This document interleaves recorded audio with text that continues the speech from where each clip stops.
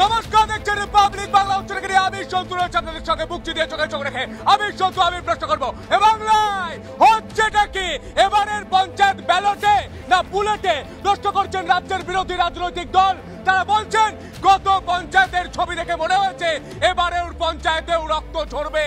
কারণ সত্তর হাজার, তিয়াত্তর হাজার বুথে চল্লিশ হাজার পুলিশ দিয়ে হবেটা কি বার ভোট কর্মীরা বলছেন, আগে নিরাপত্তা, পরে ভোট। নিরাপত্তাহীনতায় তারা ভুগছেন। তারা বলছেন, কেন্দ্রীয় বাহিনী ছাড়া ভোট নয়। আর রাজ্যের বিরোধী রাজনৈতিক দল আজ প্রথম দিন মনোনয়ন করতে গিয়ে আজ প্রথম দিন মনোনয়ন করতে গিয়ে বাধার মুখে পড়েছে। এমনটাই অভিযোগ। তাহলে মনোনয়ন কি করে হবে? ভোট কি করে হবে? মানুষ লাইনে দাঁড়িয়ে ভোট কীভাবে দেবে? মানুষের অধিকার নিয়ে, মানুষের গণতন্ত্র নিয়ে, মানুষের সুরক্ষা নিয়ে, এ বাংলায় হচ্ছেটাকে আসব আলোচনায়, আসব তর্ক বিতর্কে। প্রথমে নেব বিশেষ রিপোর্ট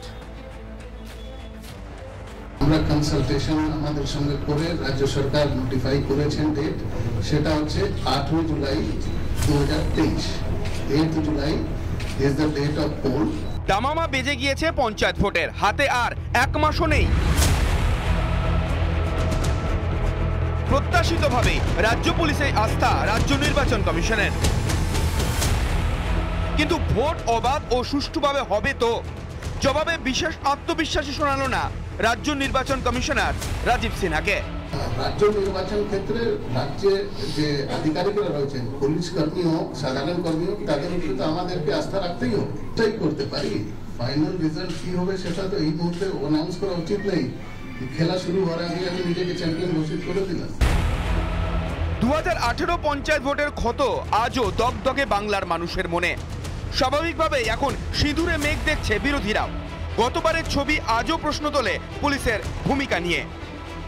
আচ্ছা সে না হয় মানলাম। পুলিশ তার নিজের কাজটা এবার ঠিকমতো করবে? কিন্তু আজকের ছবিটা? মনোনয়নের প্রথম দিনের বিরোধীদের বাধা দেওয়ার অভিযোগ থেকে দফায় দফায় বিভিন্ন জেলায় অশান্তি। তবে কি প্রমাণ করছে? রাজ্য পুলিশে আস্থা রাখতে না পেরে বিরোধীরা কেন্দ্রীয় বাহিনীর দাবি করেছে। দ্বারস্থ হয়েছে হাইকোর্টের সত্যিই তো তাই। যে রাজ্যে পঞ্চায়েত বুথের সংখ্যা প্রায় তিয়াত্তর হাজার পুলিশের সংখ্যা চল্লিশ হাজার সেখানে কি করে নিরাপত্তা দেবে পুলিশে? ইলেকশন আটকানোর একবারই চেষ্টা করছি না। আমাদের মেন উদ্দেশ্যই হচ্ছে যাতে ফেয়ার ট্রান্সপারেন্ট ইলেকশন হয়। কারণ ডেমোক্রেসি এই এই স্টেটে is at risk is at actually at risk বাংলার মুখ্যমন্ত্রী হাইকোর্টে গিয়ে এফিডেভিট করে বলে আসুক। যে আমি বাংলার মুখ্যমন্ত্রী মমতা ব্যানার্জি কথা দিচ্ছি।